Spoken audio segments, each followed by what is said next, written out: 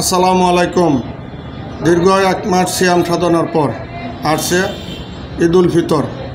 সেই ঈদ উল ফিতরকে সামনে রেখে গণপ্রজাতন্ত্রী বাংলাদেশ সরকারের মাননীয় প্রধানমন্ত্রী, আমার প্রাণপ্রিয় নেত্রী, বিশ্বের জননন্দিত নেত্রী, বিশ্বের পরিচিত মানবতার মা, বঙ্গবন্ধুর তনয়া, জননেত্রী শেখ হাসিনার নির্দেশনায় ত্রিশাল উপজেলা আওয়ামী লীগের পক্ষ থেকে দীর্ঘ এক মাস সাধারণ মানুষের পাশে ইফতার ও ঈদ সামগ্রী বিতরণ করে আগামী দিনে জননেত্রী শেখ হাসিনার হাতকে শক্তিশালী করার লক্ষ্যে আগামী দিনে জাতীয় সংসদ নির্বাচনে মাননীয় প্রধানমন্ত্রী যাকে মনোনয়ন দেবেন, তাকে জয়যুক্ত করে আবারও জননেত্রী শেখ হাসিনাকে বাংলার প্রধানমন্ত্রী বানাবো।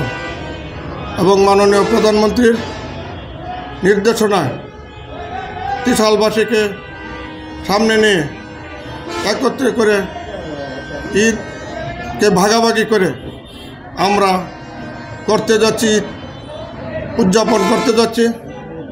ঈদ মানে আনন্দ, ঈদ মানে খুশি। ঈদ মুবারক। জয় বাংলা, জয় বঙ্গবন্ধু। জয় হোক ত্রিশালবাসী সকলকে ধন্যবাদ। আসসালামু আলাইকুম।